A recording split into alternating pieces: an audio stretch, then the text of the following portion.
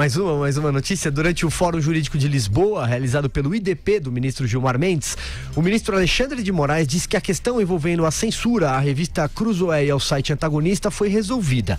De acordo com Moraes, o que se apura não são as ofensas. O que é investigado são ameaças graves. Questionado sobre se, primeiro, não deveria haver uma constatação de que se tratava de fake news para depois impedir a circulação da reportagem, Moraes disse que não. Abro aspas. Você não pode prejudicar a honra de uma pessoa pessoa quando há, como houve no caso, uma nota oficial da Procuradoria-Geral da República. Segundo o ministro, o que vai ser investigado agora é o vazamento do documento. Ai, ai, ai. Vai lá, Vera Magalhães. Pois é, Silvio, eu escrevi ontem na minha coluna a respeito disso. Diz que a única solução aí, saída honrosa, era o arquivamento total desse inquérito.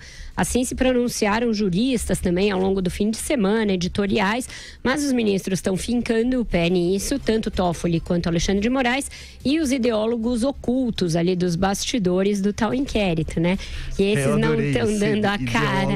É, esses não estão dando a cara para bater, mas são os principais que ficam pondo fogo ali no Toffoli e no Alexandre de Moraes falando: mantém, mantém o inquérito, mantém o inquérito. Então ele vai ser mantido enquanto eles puderem. Se chegar ao plenário por provocação da PGR ou de qualquer outra instância, vai cair. Vai ter pelo menos seis votos contra a sua continuação.